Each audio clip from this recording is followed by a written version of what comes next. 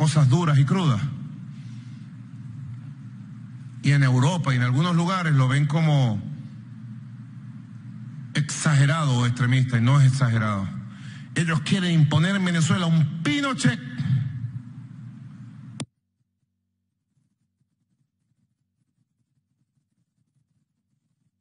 Ahora exactamente en el Salón Simón Bolívar de Palacio de Miraflores, rueda de prensa con medios internacionales.